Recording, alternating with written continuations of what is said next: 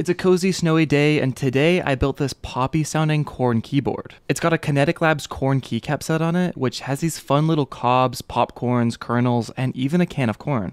I'm also using these awesome banana milk switches which come in this cute little Korean styled banana milk bottle. And finally, with everything together, this is what the board sounds like.